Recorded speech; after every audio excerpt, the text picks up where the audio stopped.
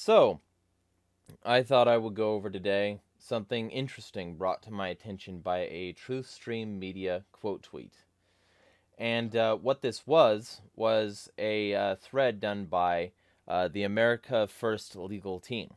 Now, just to be clear, I'm not crazy about uh, America First Legal. You know, like their whole shtick is Republican ACLU. That's it. That's the joke. Um, and ultimately, uh, I'm not a fan of the original ACLU or what it did. So cheerleading for Republicans won't be a good um, sort of antidote to cheerleading for Democrats, which is what the ACLU basically turned into. Um, and it's one of the reasons that all these like acronym organizations, a- a- ACLU, ADL, um, SPLC, they all want you to forget all the work they did uh, exposing the Azov Battalion and other new and other Ukrainian Nazis. Um, they want you to forget that because it's a lot easier for them to push Democrat agendas if you forget that the current Democrat administration is um, responsible for sending those people tens of billions of dollars.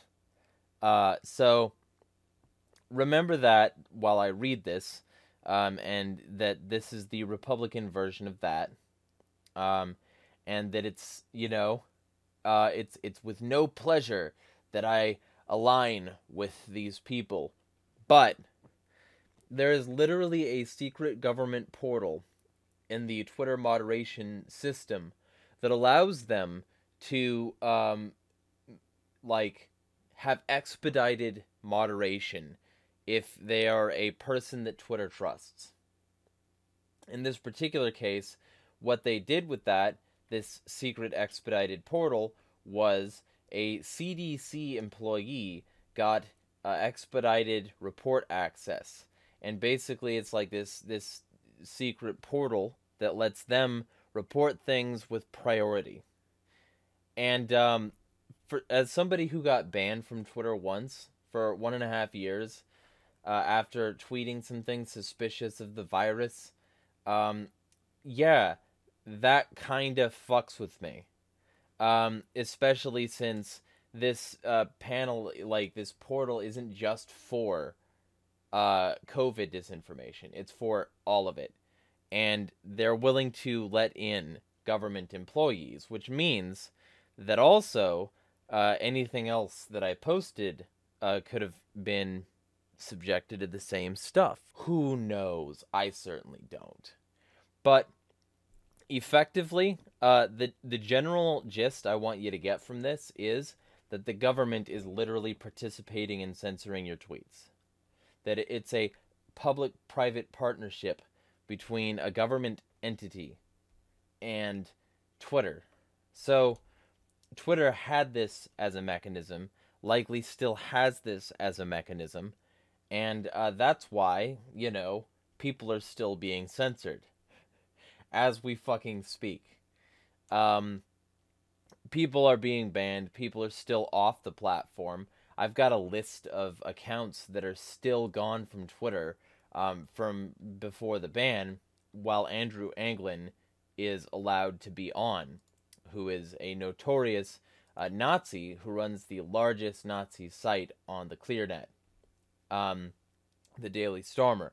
So Twitter is making very specific choices about who they uh, respect the free speech of and who they don't. And a year and a half after my ban, they eventually lifted that ban, um, and said that the reasons that they that they gave to everyone that they uh, told that I was banned, those were all lies. And so their their their moderation was either you know, a biased human and they lied about it having been automatic moderation or it was automatic moderation designed to, you know, serve a specific agenda either way. Because I had a whole lot of good and useful information on that account and uh, now you can't even search it. Um, and also, uh, Weekly Hellscape is currently banned. Um, and I, it, it's not lost on me that one of the last things that I uh, tweeted on that account was critical of Elon Musk, and that I tweeted a lot of critical of Elon Musk stuff from the Weekly Hellscape. Uh, while I also used the Weekly Hellscape podcast to say some things against Musk. And suddenly, Musk is here and my account is not. So it's not fucking lost on me, Twitter. I, I see your game. Um, and I also see your game uh, suppressing my tweet uh, with the link to the video from yesterday uh, in it, saying that it's like, you know, it, it needs this warning. It's it's super evil content. It needs this warning.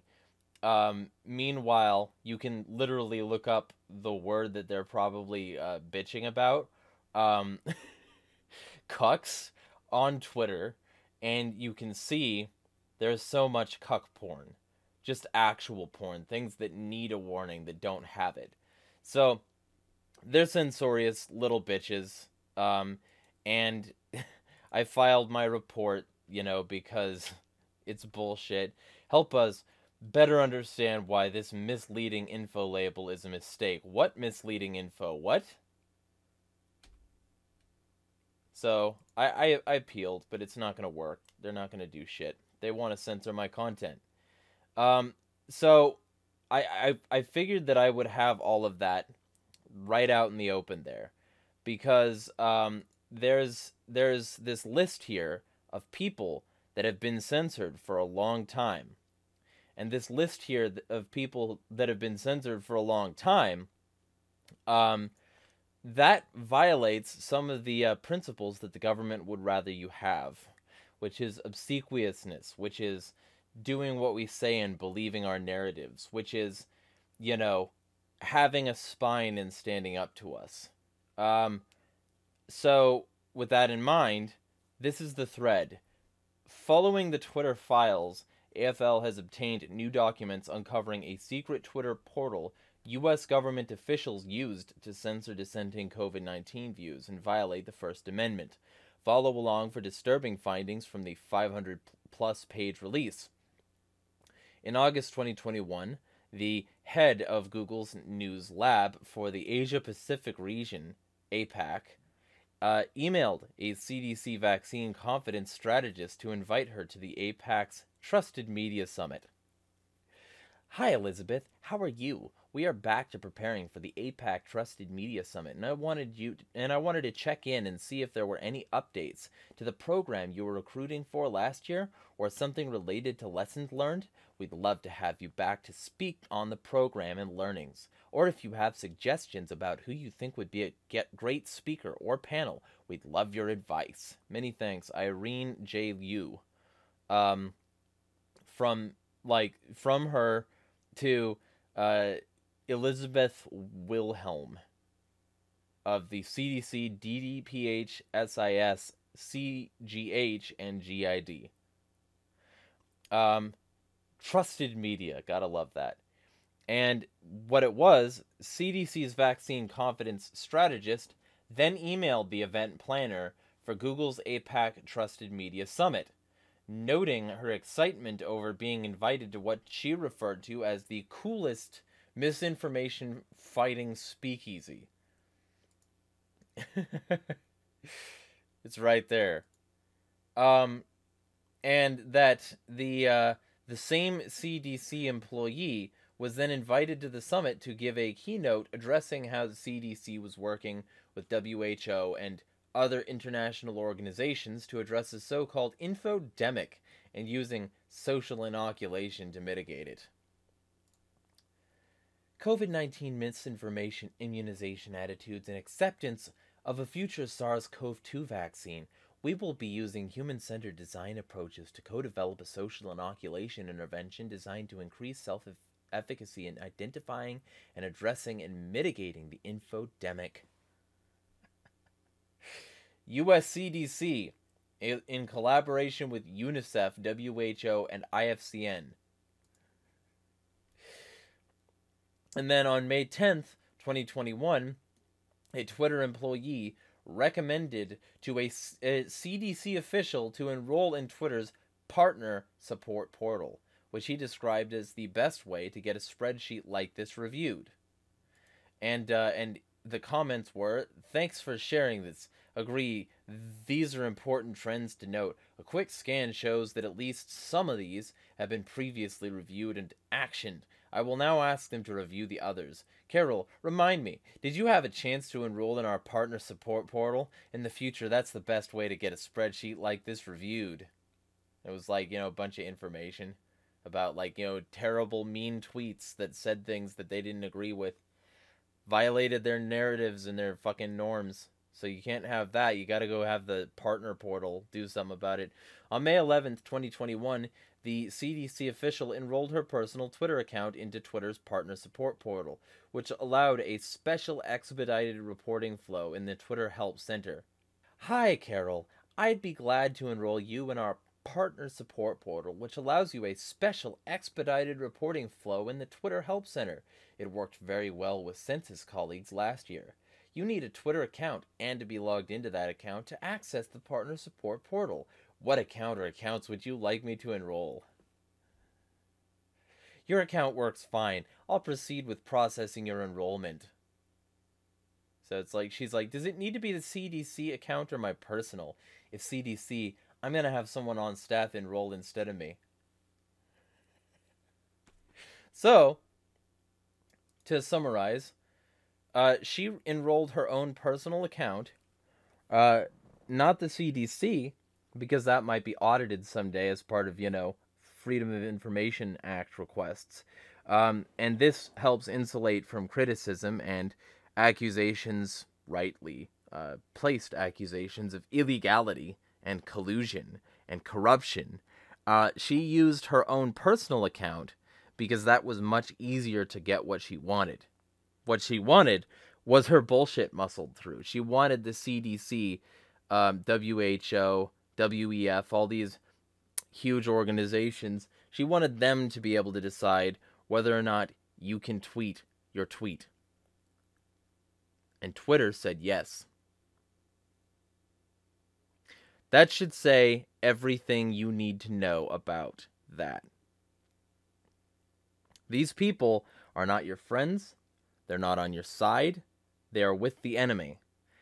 And the fact that Elon Musk hasn't publicly gotten rid of this, the fact that my podcast account is now banned, the fact that so many accounts are fucking banned still, but Andrew Anglin gets back, that should tell you everything you need to know about the new paradigm.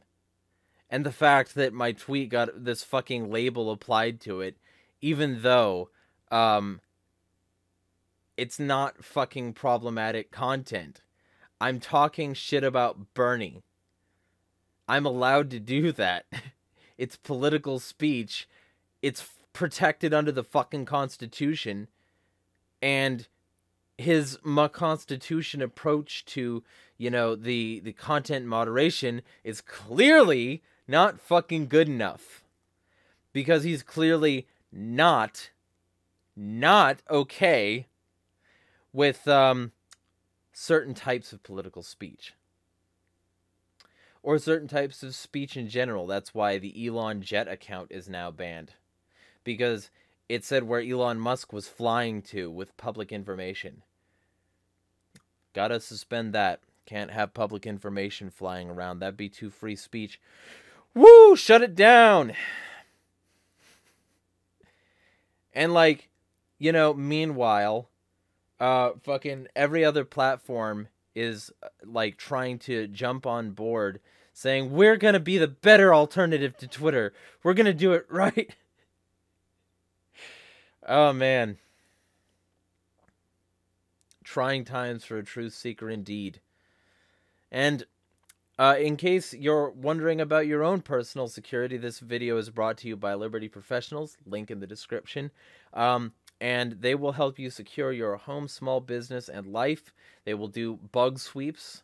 They will uh, do remote security audits of your premises. They will uh, do security audits and paper servings if you're in Texas. Um, you know, there's plenty of things they do. And uh, guy runs it, ASIS board certified uh, security professional, private investigator and uh, he is now also in Texas, which uh, he moved there in order to get uh, a little bit freer. So I think we can all sympathize with that. Uh, but check the link out in the description. That's what lets me keep doing this is sponsors like that. Uh, also, check out Brushfire 2048. Uh, guy who uh, wrote it is a longtime supporter of this content, and he supported this content again last month. So I'm filling out my my ads for him because I, uh, I always appreciate that support. So if you want him to continue supporting this content, uh, feel free to buy that book for the conspiracy theorist on your list. And you know that these conspiracies are uh, full well true. I hate it when people say that something is not a conspiracy because of these facts that uh, that prove it. No, it's a conspiracy. It's a factually proven conspiracy. Or this isn't some conspiracy theory. Yes, it is. And there's nothing wrong with that because conspiracies happen all the time and the state is the chief perpetrator of these conspiracies. And the state has been conspiring with the the the trust and safety team at Twitter and its own private and secret security portal where they're like moderating and censoring tweets that they say aren't true. It's literally 1984. The conspiracy is now. And it's not just them, it's also Facebook, which I talked about them with the Atlantic Council. I'll probably uh, debunk some of the bullshit that was said on uh, Philip DeFranco not too long ago because you know he uh, he had a guy from the Atlantic Council on his show to discuss how oh damn shucks the misinformation is just too much. Look at look at this guy. This guy is such a fed. You can tell it immediately and you don't even need to know that the Atlantic Council, as I wrote in my Facebook, is not a private company article, um, is a NATO funded and European and Gulf uh, monarchy funded fucking uh, propaganda portal. You don't need to know that to know that this guy's a Fed, you know?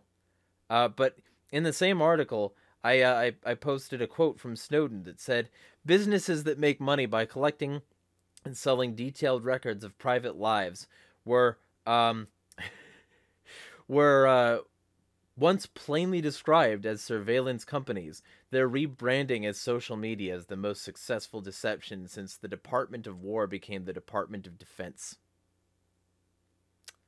I think that fairly well sums up every reason you need to smash the fucking